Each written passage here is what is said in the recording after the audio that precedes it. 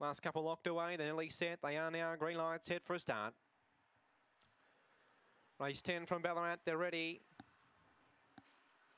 Racing, beginning fast down on the inside. Ruby Arizona goes through to lead. Coco de Burns right there on the seat and pushing forward. Just behind those running for Juddy up wider. And then came Vertigo Bond. Back through the field came Waikiri Bandit. It's inside his Fascinate Candy. Well back to way up north who's out the back with Cop One Fernando as they turn for home. Ruby Arizona along the inside with Coco de Burn. The inside Vertigo Bond. Vertigo Bond got through. Beat Coco de Burn second. Ruby Arizona third. A line of big wall there for fourth.